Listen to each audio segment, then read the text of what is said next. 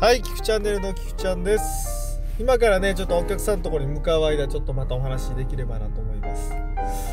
えー、っとね、ちょっと前なんですけど、週末、先週末ね、あのー同級生の、えーっと、新年会がありましてね。まあ、新年会っていうのは初めて行ったんですけど、まあ、すごく楽しくてね、まあ、いろいろお話聞けたりとか話したりしてたんですけど、まあ、今回はね、まあ、いつもは僕主催というか僕が幹事長させてますんであのさせてもらってるのでまああの場を盛り上げなきゃいけないなとか思ったりとかね。あと場をしらけさせたらいけないなということで話する時いろいろまああの自分のねくだらない話だったりっていうのをね織り交ぜてお話しして話したり聞いたりしてたんですけど今回はね僕主催じゃないんでねあの場をしらけさせちゃいけないなってちょっと気を使いましてね、まあ、時々ね黙らすことがあるんでね 僕。あのまあいろんな話をとにかく聞こうということでね。聞くスタンスで行きました。そしたらねやっぱりみんな40でね人格がある程度出来上がってきましてね。来てましてね。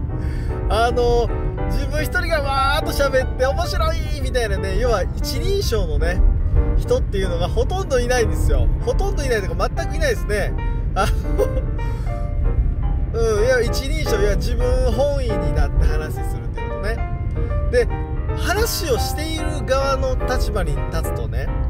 自分本位で自分の話をわーっとする方がね楽しいですよ。本当はね気にすることなくね。ただあのーやっぱりみんな大人になってくると1人称から2人称ね自分をこう俯瞰で見てね当然話するようになってますし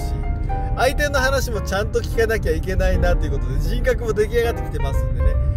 なんて言うたらいいかな様子見みたいな感じにねあのなるんですよどうしたってなるんですね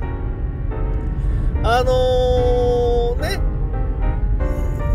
なかなか難しいんですよね。あの 難しいというかね、やっぱりみんな大人なんですよね。まあ特に新年会に来るようなあの人たちはね、方たちはね、あのやっぱり私生活それなりにゆとりがあって、まあみんなで飲むのが楽しくて、ね、あのね、場の空気もきっちり考える人らが多いのでね、あのどうしてもそういう感じになっちゃったんですね。まあ僕はそういう風に見てたんです。で僕もね途中から切り替えればよかったんですけど出だしのスタートダッシュが遅れてしまいましたんでね。もう聞くスタンスでこうじっくりこう構えてますからね。なかなかこうエンジンがかかってこないっていう時って皆さんないですか？ないないない？ありますよね。なんかあのスタートダッシュを決めれなかって場の雰囲気に最後まで馴染めずに終わっちゃったみたいな。あのーそういう状態でした。僕はね。うん。でそれがね辛いとかそういう気持ちは全然ないんですよ。ただねまあそういう場もいろいろ経験してねあの盛り上がった時も当然ありますしね。あの楽しく行けた時も当然ありますのでね、うん、まあ関取とかねいろいろな条項がねこう折り重なってねあの重なってねあのまあ場の雰囲気っていうのは作られますからね、うん、もっとあの席をシャッフルしたらよかったかなって今考え今考えてみるとねあのー思いますね、うん、何の話やろ。まあそんなこんなでねまあ僕多分ね今年もね年末ねあのー皆さんにまあ同級生に声をかけてねあのーなんていうかな、あのー同窓会っていうのをね、また開いていきたいなとは思うんですよ。まあ、要望がある限りね、一人でも要望がある限りね、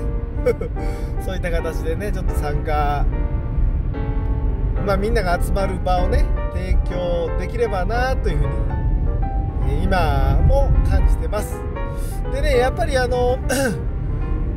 なんていうかな、切り替えれる男になりたいですよね。まあ自分がこうわーっと喋るときと、話をじっくり聞くときと、まあ楽しく、まあ楽しいっていうのがね、やっぱりみんな楽しくっていうのが一番なんでね。あの盛り上がればそれでいいなとは思うんですけどね。まあ僕自身のねその器がやっぱりちょっとちっちゃかったのかな。うん。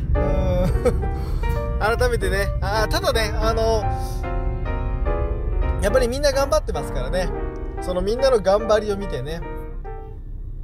改めてねあのよし俺ももっとね今以上にやっぱり仕事をね自分のことをね打ち込んでいかなきゃいけないなっていう気持ちにはなりましたね。うん以上です。ありがとうございました。